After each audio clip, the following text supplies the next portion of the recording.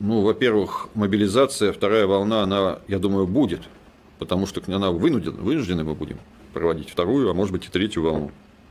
Чтобы победить, именно победить на Украине, нам необходимо будет поставить в строй еще там полмиллиона, условно говоря, солдат, как минимум.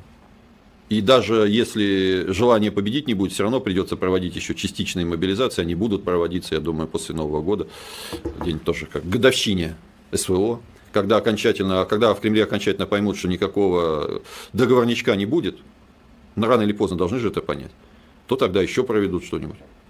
Проблема ведь в том, что просто призвать под знамена людей, их же надо не просто даже одеть, обуть и вооружить, им надо, их надо обеспечить командирами, их надо обеспечить э, размещением, их надо обеспечить э, питанием.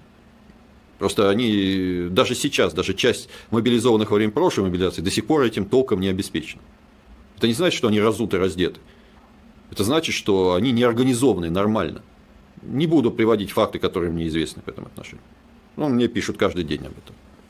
Но, условно говоря, то, что справились со всеми проблемами, как заявил, по-моему, сегодня наш фанерный маршал, вот, э, это, не, это неправда. Еще с проблемами прошлой мобилизации частично не справились. И проводить новую массовую мобилизацию в ситуации, когда неким даже, некому будет даже командовать ими, сначала кадрированные части надо собрать. Сначала. Чтобы люди туда поступали, чтобы там были уже офицеры и унтер-офицеры, там сержантский состав, который хотя бы их примет под команду, организуют, они не будут там сжечь костры и пьянствовать.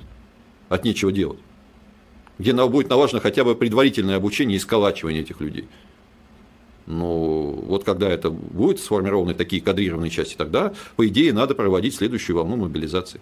Запасные батальоны, запасные роты при частях и соединениях, маршевые там и так далее, где в этом проблема.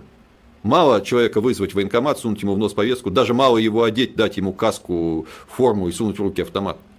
От этого он солдатом еще не станет. От этого он станет вооруженным гражданским не понимающим вообще, зачем его и куда его призвали.